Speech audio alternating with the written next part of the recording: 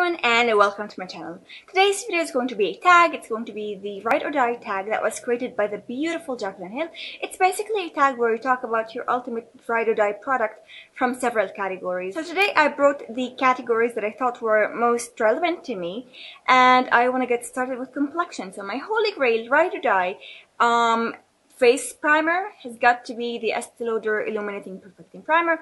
This primer I've been using for years and years and years and years and years. This is my fourth tube of it. I think that I cannot go without it. It's very beautiful. It's very moisturizing, yet it's not too heavy. It's perfect for my skin all year round. Maybe it's best suited for me during the summer and less during the winter because during the winter I might need something a teeny little bit heavier but for the longest time I've been using this all year round and I I've never I've never had issues with it. It's really really a great product. Speaking of um, primers and complexions, something that will unify your face has got to be foundation. And my Ride or Die foundation has got to be the Koh Gen Do Aqua foundation. This foundation is so amazing. It's it's literally the foundation that will not budge off your skin. If you have like normal skin, maybe slightly um, combo, um, probably also dry, you'll love this foundation.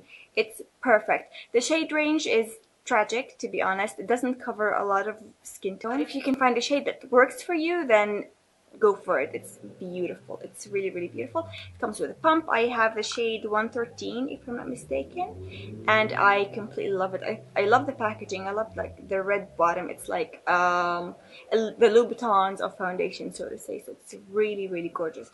It's expensive. I'm not gonna lie. It's like 60 something dollars. It's not cheap, but it's it's perfect. You can find it um, on Beautylish if you're struggling with finding a place that sells it. You can buy Beautylish or you can buy this foundation through Beautylish, I think worldwide. So it's great. I love it. Okay, moving on from that to concealer. I love, love, love the Estee Lauder um, Double Wear Stay in Place Flawless Wear Concealer. I've had maybe, like, this is probably my sixth or seventh, um, like, tube of it. I'm obsessed with it. I've never used anything else, to be honest. Um, I have tried, like, a few um, I, I tried Lancome once, I tried Dior, I tried um, some drugstore, but I, I keep going back to this. I love it. It's perfect. It's lightweight, it's very full coverage, and it's just absolutely perfect. I, there's nothing bad I can say about this, to be honest. This is probably my favorite um, concealer of all time. To set all of this in place, I love, I love, I adore the Guerlain Meteorites. A lot of people talk about like more um, heavier duty powders like the Laura Mercier or the RCMA or other like um, heavier powders. I love something lightweight. I love something with luminosity. I don't really care to bake, to be honest. It's not something that I am interested in doing. I just like to set my face very lightly with, with just sheer dusting of powder and this is absolutely perfect for me. I love it. I've been using this for years. This is a, this is the first makeup product that I ever purchased. The Meteorites, not this particular tub, but another one. I completely love them. I, I think I'll always be using Meteorites, to be honest, throughout my entire makeup life. I love it. Okay, enough with complexion. Let's talk about something that's more enhancing. Something to give you some cheekbones, to chisel out your nose, to make you look more, um, to make your um, bone structure look more sexy. That has got to be uh, a contour. And my favorite, favorite, favorite contour product is the Kevyn Aucoin Sculpting Powder in the shade Medium. I am obsessed. I have this today. I contoured my nose. I contoured slightly my cheekbones. I contoured under, underneath my lip to make it look just a little bit more poutyful. I love it. It blends like a dream. It applies beautifully. It's such a beautiful product, to be honest. There's absolutely nothing bad I can say about this. I completely love it, and I use it every single day. I used every single freaking day. I'm completely obsessed. Bronzer, bronzer, bronzer. Guerlain bronzers are the thing to get. If you're interested in buying a bronzer, I recommend you go to the Guerlain counter and check their bronzers. They're famous and they're they're they're popular for a very good reason, basically. Um, the one that I have is looking pretty sad. I have all three Guerlain bronzers, the one with the mosaics, the one with the quarters, the Four Seasons one, and I have this one. My favorite one is this, with the solid color. I don't know what about it is better than anything else but I love the color. I love how amazing it is. I use it basically on my like um temples on along my cheeks a little bit under my jaw. It's perfect. I love the color. I love how easy and pigmented it is and I love how easy it blends. It's just a perfect perfect bronzer in my opinion. Blusher it was was probably the hardest one for me to be honest because this year I've been obsessed with blushes and until this very day, I don't know what makes a blusher my favorite. I know that I have a lot of favorite blushes. I just don't know why that particular one is my favorite. So I, I, I, thought about it in terms of what has been my favorite for the longest time. And I decided to go with the Tom Ford Wicked. Such a gorgeous color. I, I honestly, I think that it is complementary on all skin tones. It might look a little bit frightening once you look at it through the camera because it's very pigmented, especially if you're fair. But if you use it with caution, since these blushes are quite pigmented, you have to be just a little bit more careful with them. But if you use it cautiously, it's just such a gorgeous color and it complements every skin tone. Yellow, pink, light, very dark, ebony, whatever. This is just the perfect blush and I'm obsessed with it. Okay, Next we have highlighter. Highlighter was also just a little bit um, difficult because I really like Jaclyn Hill um, uh, Champagne Pop, but I have to admit that it's not my favorite. It's not my ultimate favorite, so to say. It's definitely one of my favorites, but my ultimate favorite is the Balm Mary Lou-manizer. Mine is broken, but this clearly hasn't stopped me from considering it my ultimate favorite highlighter. It's so potent. It's so intense. It's so gorgeous. It is the highlighter to get. I think that this might be just slightly less expensive than Champagne Pop, which is always a win-win bonus.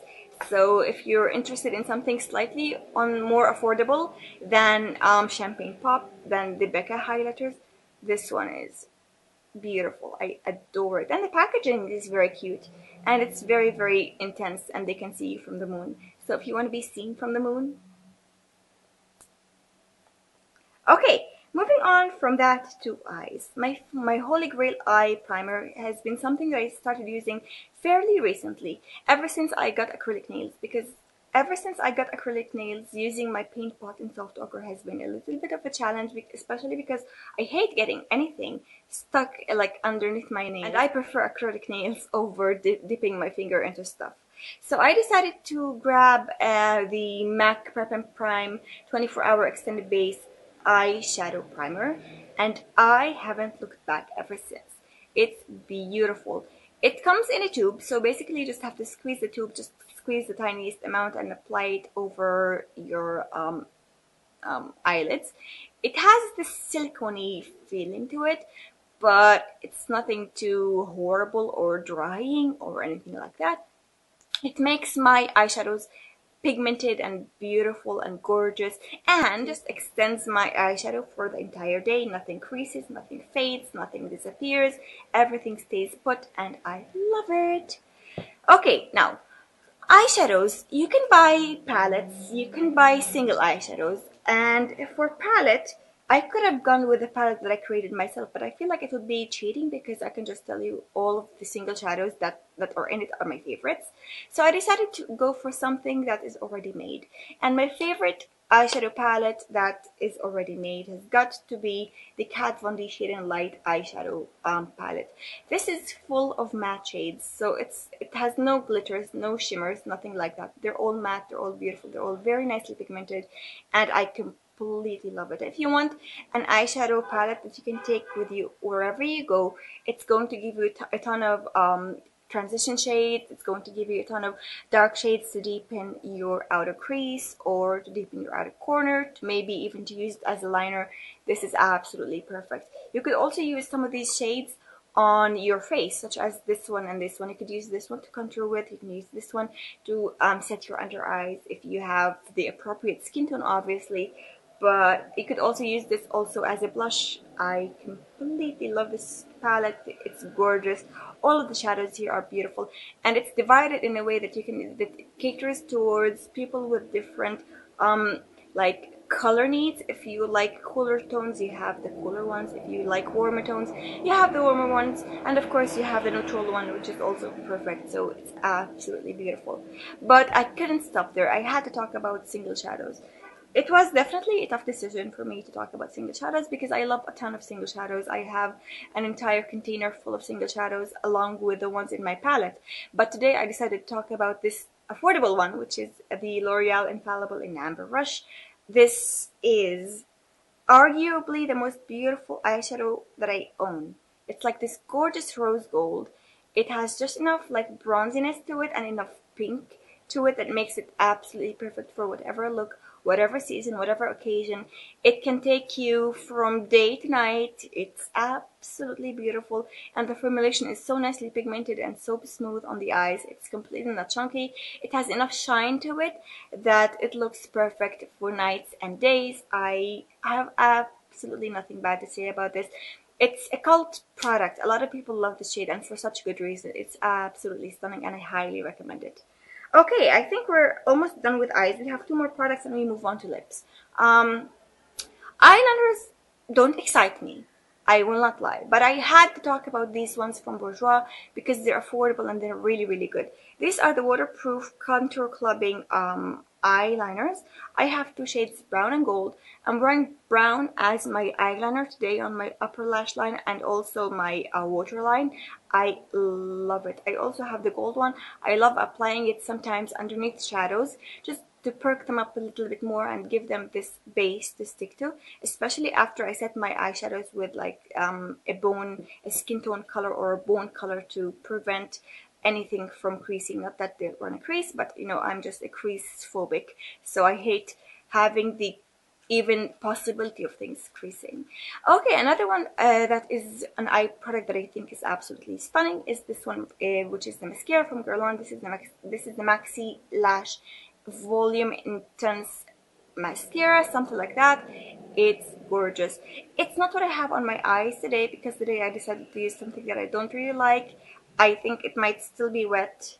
Yeah, it's a little bit wet still. Can you believe it? I applied my mascara maybe like half an hour ago. It shouldn't still be wet, but it is. So, and it's supposed to be waterproof. Can you believe it? I can't. Anyway, this mascara is gorgeous. I've talked about this numerous times. You can you can go back to my favorites video. You can talk, you can go back to a first impression or not a first impression. I don't know what I did. I featured this in a video all for itself because it deserves it. It's beautiful. Okay, let's talk about lips. Um, my favorite lip liners have to be the Il Makiage Mineral Lip Liners.